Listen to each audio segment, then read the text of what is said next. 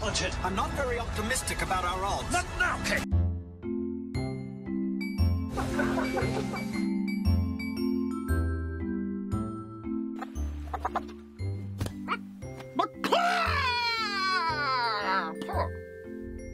What does this action signify? Cut it.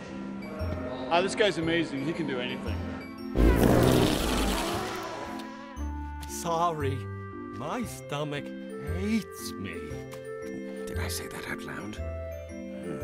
The Duke of Bootleg. Step right up. Anything you need, I got it. Oh! A shark! How did it get all the way up here in the sky? Who cares, you fool? Do you want to get eaten? Retreat! I know, I know, but I thought maybe we could make an exception. I want your microbots at Krei Tech. Shut up. Jesus Christ, ceasefire! Stay back! Hunter? Daddy. Hunter! Let's get ready to play Are You Smarter Than a Fifth Grader?